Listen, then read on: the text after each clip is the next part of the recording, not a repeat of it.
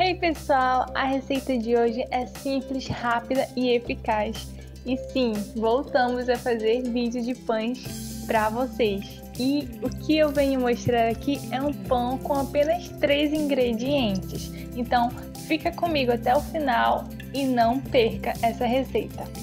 Antes de ir para os ingredientes, eu só te peço que você deixe o seu like, comente aqui quais receitas vocês querem ver aqui no canal e também compartilhe com pessoas que gostam de receitas rápidas e práticas para fazer no dia a dia. Agora, vem comigo! Para realizar a receita, vamos precisar de um ovo, 7 colheres de sopa de leite em pó desnatado, meia colher de sopa de chá de fermento em pó químico. Agora vamos para o modo de preparo. Inicialmente, pré-aqueça o seu forno a 180 graus e pegue uma tigela, coloque um ovo, acrescente também o leite em pó desnatado e o fermento em pó e misture tudo super bem até formar uma massa homogênea.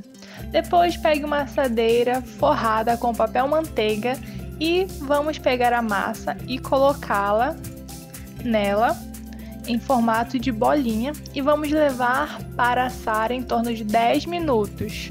Passando os 10 minutos, é só retirar do forno e prontinho, o seu pão está pronto.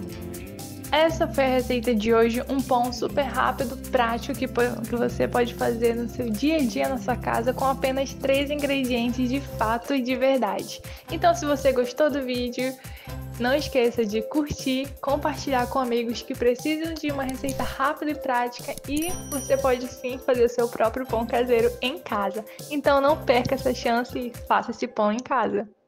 E você que sofre de cansaço nas pernas, dores, microvasos, varizes nas suas pernas, eu tenho uma solução para você que é um suplemento alimentar maravilhoso e que vai trazer saúde novamente para suas pernas. Para saber mais, é só ir na descrição do vídeo que lá vai estar as informações que você precisa. Um beijão e até o próximo vídeo!